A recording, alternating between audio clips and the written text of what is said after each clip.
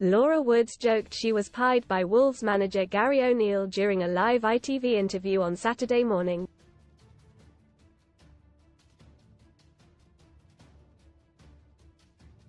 Presenter Woods, 36, was joined by the former Bournemouth boss at Molineux ahead of his side's FA Cup quarter-final against Coventry.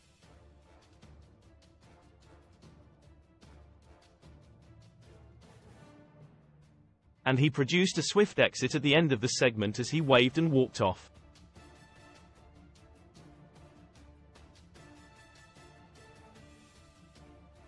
But little did O'Neill realize Woods had begun to offer up a handshake, before she quickly turned it into a wave when she saw the Wolves boss was heading in the other direction.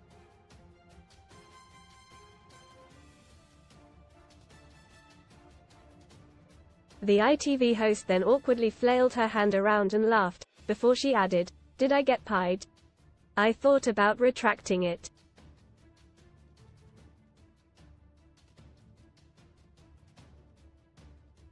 It was too late, I'd already done it. Read more on Laura Woods not keen Keane tells Laura Woods not for me as she points out Grealish's tunnel antics Law and Order Laura Woods threatens to walk out of live TV interview with Bukayo Saka reacting to the clip. One fan said, quick save to be fair. Meanwhile, O'Neill was in no mood to give anything away about his tactics for the match during the televised interview.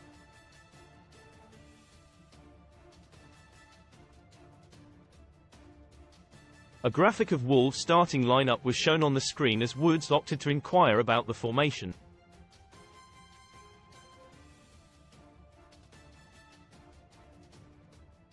She asked, is that a back three or back four? Most read in FA Cup do not swear.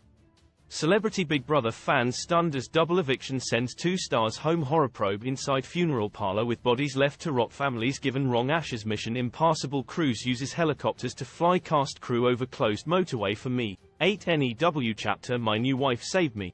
Now I'm going to be dad of three, says Simon Thomas Casino Special.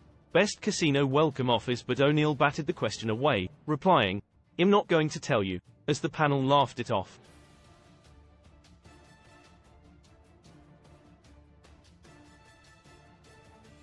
It comes after Woods hilariously threatened to walk off air during TNT Sports Champions League coverage on Tuesday as they interviewed Bukayo Saka.